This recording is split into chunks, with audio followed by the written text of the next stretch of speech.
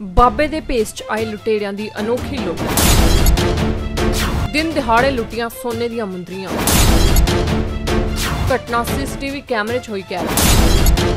ਮੋਗਾ ਦੇ ਅਕਾਲਸਰ ਰੋਡ ਤੇ ਲੁਟੇਰਿਆਂ ਦੇ ਵੱਲੋਂ ਵੱਖਰੇ ਢੰਗ ਦੇ ਨਾਲ ਕੀਤੀ ਗਈ ਲੁੱਟ ਵੇਖਣ ਨੂੰ ਮਿਲੀ ਹੈ ਜਿੱਥੇ ਇੱਕ 65 ਸਾਲਾ ਸਕੂਟੀ ਸਵਾਰ ਬਜ਼ੁਰਗ ਜੋੜੇ ਨੂੰ ਸਾਧੂ ਦੇ ਭੇਸ ਦੇ ਵਿੱਚ ਇੱਕ ਸ਼ਖਸ ਦੇ ਵੱਲੋਂ ਲੁੱਟ ਦਾ ਸ਼ਿਕਾਰ ਬਣਾ ਲੈਣ ਦੀ ਖਬਰ ਸਾਹਮਣੇ ਆਈ ਹੈ ਇਸ ਘਟਨਾ ਦੀਆਂ ਸੀਸੀਟੀਵੀ ਤਸਵੀਰਾਂ ਵੀ ਵਾਇਰਲ ਹੋ ਰਹੀਆਂ ਨੇ, ਜਿਸ ਦੇ ਵਿੱਚ ਦਿਖਾਇਆ ਜਾ ਰਿਹਾ ਹੈ ਕਿ ਬਜ਼ੁਰਗ ਜੋੜਾ ਸਕੂਟੀ ਤੇ ਆਉਂਦਾ ਹੈ ਅਤੇ ਇੱਕ ਸਾਧੂ ਦੇ ਭੇਸ ਵਿੱਚ ਆਦਮੀ ਉਹਨਾਂ ਨੂੰ ਰੋਕ ਲੈਂਦਾ ਹੈ ਅਤੇ ਫਿਰ ਉਹਨਾਂ ਦੇ ਨਾਲ ਗੱਲਬਾਤ ਕਰਕੇ ਉਹਨਾਂ ਨੂੰ ਉਲਝਾ ਲੈਂਦਾ ਹੈ ਤੇ ਲੱਖਾਂ ਰੁਪਏ ਦੀ ਕੀਮਤ ਦੀਆਂ ਦੋ ਸੋਨੇ ਦੀਆਂ ਮੁੰਦਰੀਆਂ ਉਤਰਵਾ ਲੈਂਦਾ ਹੈ।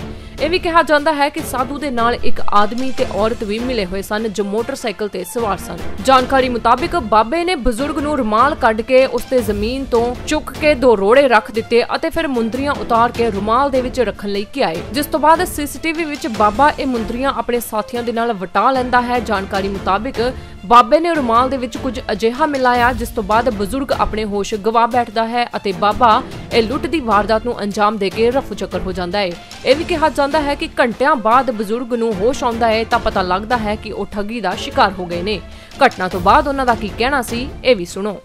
ਘਰ ਤੋਂ ਉਧਰ ਦੀਆਂ ਕੋਠੀ ਨਾਨਕਪੁਰੇ ਤੋਂ ਘਰ ਨੂੰ ਆ ਰਿਹਾ ਸੀ ਤੇ ਸਟਾਫ ਵਾਲੀ ਗਲੀ ਜਦੋਂ ਮੈਂ ਆਇਆ ਨਾ ਤੇ ਮੇਰੇ ਕੋਲੇ ਇੱਕ ਆਦਮੀ ਤੇ ਬੁੜੀ ਪਹਿਲੇ ਆਈ ਉਹਨੇ ਉਹਨੇ ਘੇਰ ਕੇ ਤੇ ਫਿਰ ਉਹ ਕਹਿੰਦੇ ਸਾਡੇ ਬਾਬਾ ਜੀ ਆ।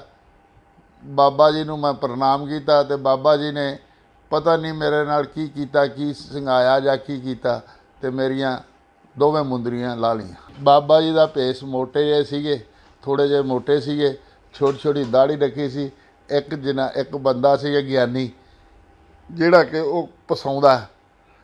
ਤੇ ਉਹ ਉਹਦੇ ਨਾਲ ਇੱਕ ਬੁੜੀ ਸੀਗੀ।